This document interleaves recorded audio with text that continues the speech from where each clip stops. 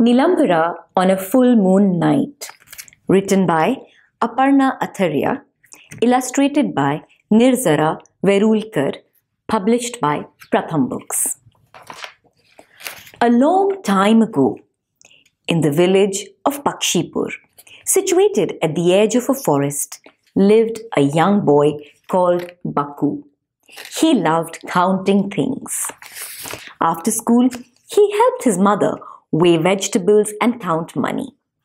One evening, Baku saw a pair of colorful birds. They laughed and took off. Baku followed them.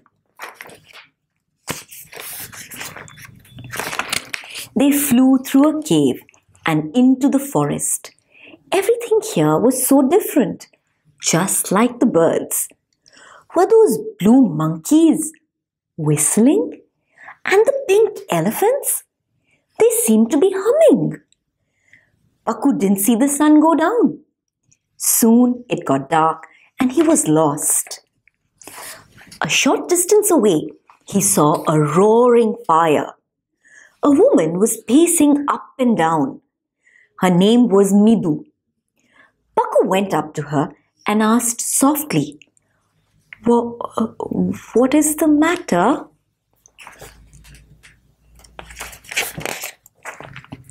My 10 year old daughter, Koya, came down with a rare illness six months ago.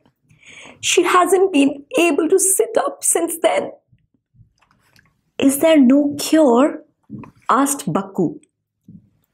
Only one the nectar of the Neelumbera flower, she said. It blooms every seven days, but only the nectar collected on a full moon night can cure her. In the past six months, the flower hasn't bloomed even once on a full moon night.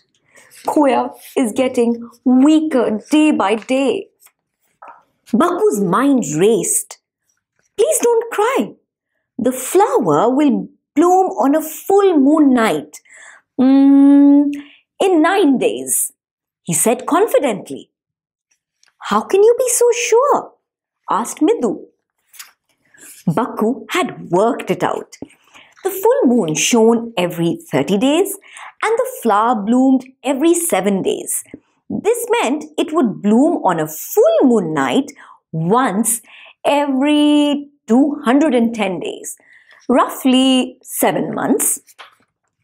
6 months had gone by. The Neelumbera would bloom on the next full moon night, and that was only 9 days away. Midu thanked Baku and led him back to his village. Three weeks later, when Baku was picking jamuns, he saw Midu again. She came running and hugged him. Baku, look! That's my Koya, she said. The flower bloomed on the night you said it would. The nectar worked its magic. Koya was cured. Baku was very pleased. All was well in Midu's world. How did Baku work it out? Baku knew the Neelumbera flower bloomed once every seven days and that the full moon appeared every 30 days. How did he know that the blooming of the flower would coincide with the full moon? Mathematics. Actually, something called lowest common multiple or LCM. What is LCM? The LCM of two numbers, let's call them A and B, is the smallest number which is a common multiple of both A and B. The lunar cycle, that is one full moon to the next, can last anywhere between 28 and 31 days. The average full moon cycle is 29.53 days, which is rounded off to 30 days. How do you find the LCM? To find the LCM of 3 and 5, write the multiples of 3. 3, 6, 9, 12, 15, 18, 21, 24, 27, 30, 33 and so on. Write the multiples of 5. 5, 10, 15, 20, 25, 30, 35. The common multiples are 15 and 30. The least or the smallest common multiple is 15. LCM of 3 and 5 is 15. Prime factorization method. We usually use this method to find the LCM of larger numbers. This means that we list out each number as a product of prime factors.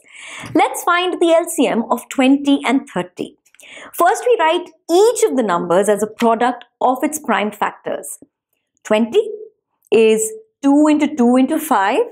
30 is 2 into 3 into 5. Now we multiply all the factors. 2 into 2 into 3 into 5 which is 60. If a factor is common to both the lists, we need to take it only once for each pair, unless it occurs more than once in the small list. Here 2 is common in one pair, but it occurs twice in the list for 20. How often does the Neelumbera bloom on a full moon night? The answer to this is the LCM of 7 and 30. 7 and 7, 30 2 into 3 into 5. LCM is 2 into 3 into 5 into 7 which is 210. So the Neelumbera blooms on a full moon night once in 210 days. Imagine you have planned to serve spicy vada pav from the neighborhood snack shop. You go to the shop and realize that vadas come in packets of 3 each and pavs come in packets of 4 each.